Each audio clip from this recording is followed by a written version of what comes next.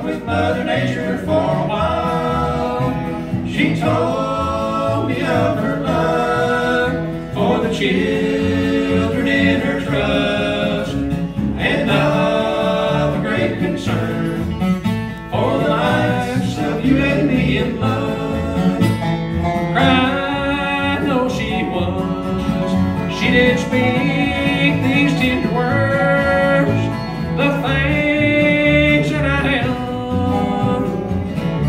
not changed for any man. I tried to comfort her, but she would not be still.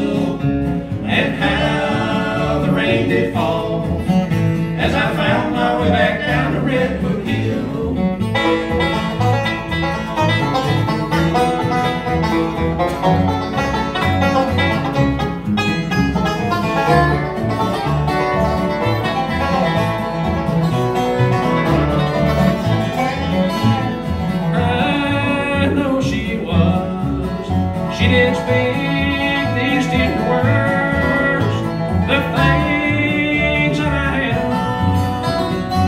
I could not change for any man. I tried to comfort her, but she would not be still. And how the rain did fall as I found my way back down the Redwood Hill.